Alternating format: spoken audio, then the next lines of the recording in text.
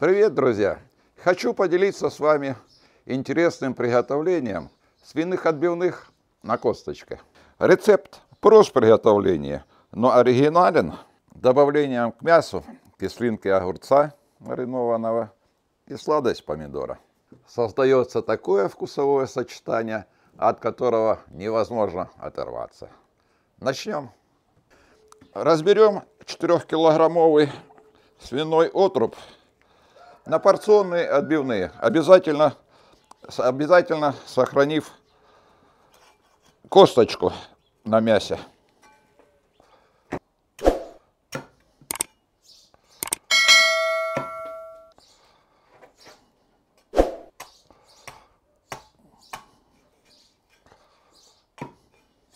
Я преднамеренно выбирал мясо на косточке. Так отбивная будет при приготовлении и сочнее, и вкуснее. Косточка сохранит в мясе всю сочность.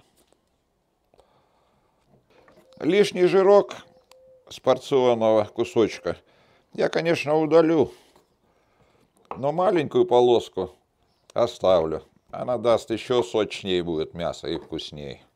Без фанатизма отобьем каждый кусочек с двух сторон. Используем пленку пищевую, чтобы брызги не летели.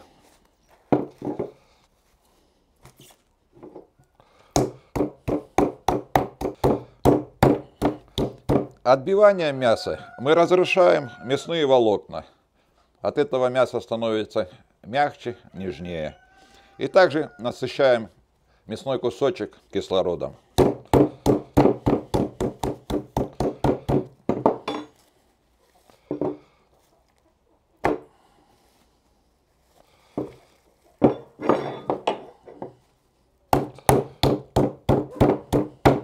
Подготовленным отбивным я сухой метод маринования применять не буду. Я имею в виду соль и перец. Продолжу дальше приготовление по методу жарки стейков. Садж на печь. В садж немного масла без запаха. Но у меня объем мяса большой, поэтому я миллилитров 150 налью и хорошо нагреем масло до, до дымка. В огненное мясо опускаем отбивные и обжариваем по 2 минутки с каждой стороны.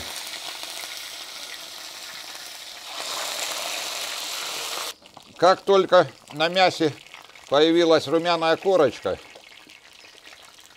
сразу переворачиваем. До готовности нам доводить не надо. Этим займется печь. Нам нужна румяная аппетитная корочка.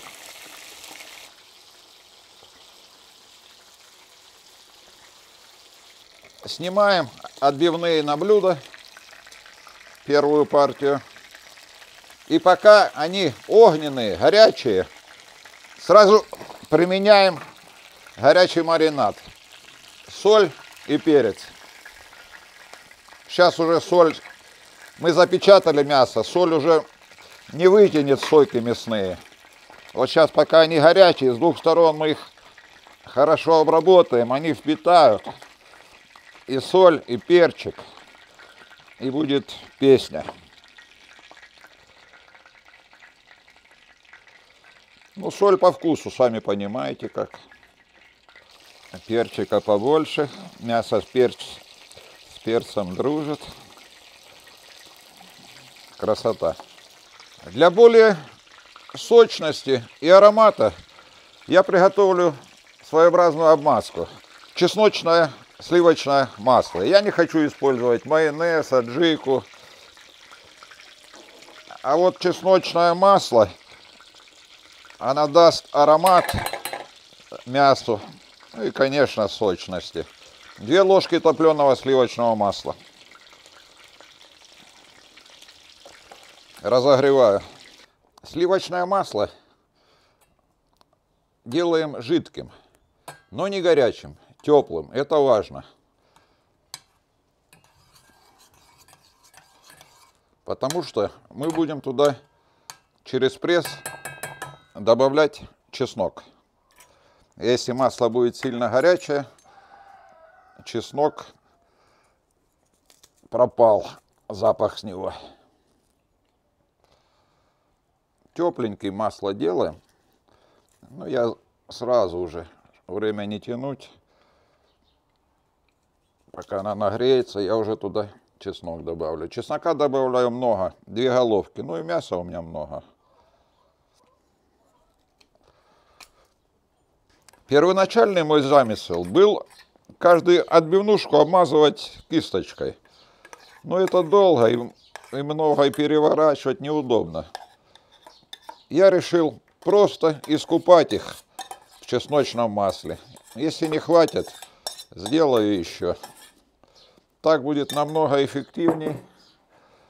Но придется руками. И лучше. Просто переверну в масле с чесноком с двух сторон и на противень. Пусть впитывает. Ой, какой запах, аромат. Невозможный. Мясо с чесноком это что-то. Остатки нанесу сверху. Такое добро не пропадет. Там чесночок останется, сейчас масло все впитается. Остатки чесночной намазки, тут в основном чесночок, нанесу сверху ложкой.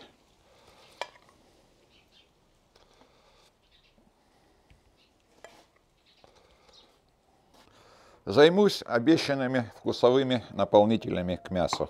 Это у меня будет свежий помидор сладкий и домашние консервированные огурчики. Томаты и огурцы нарезаем тонкими дисками, огурцы полосками. Впрочем, кому как нравится. Выбор нарезки за вами. Нам надо просто покрыть мясо овощами. А какой формы это на вкусовые качества не влияет. Чтобы помидорчик не стекал, сразу переносим его на кусочек мяса. Укрываем кусочки мяса овощами, помидор, огурец.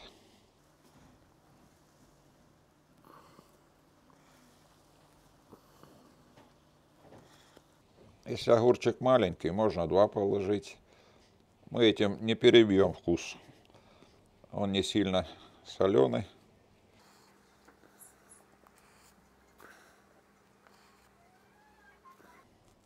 Красота. Томаты на мясе немножко подсолим и укроем пищевой фольгой. В печи температура у меня сейчас сколько-то? Ну, почти 200 градусов с лишним мясо сильно пригорит. Я хочу 10 минут фольге протомить.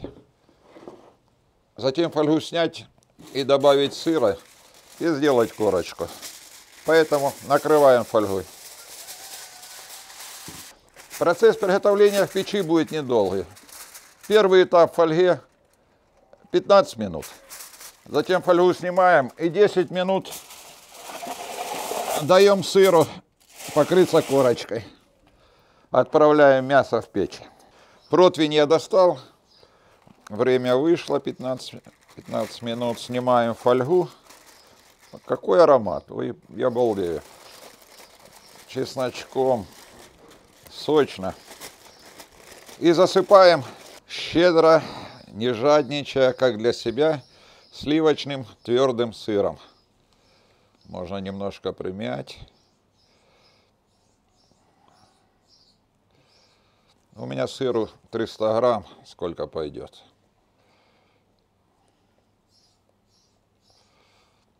Отправляем нашу красоту еще на 10 минут. Пусть сыр расплавится.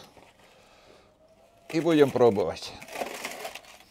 Но мы еще посмотрим, как он будет плавиться там.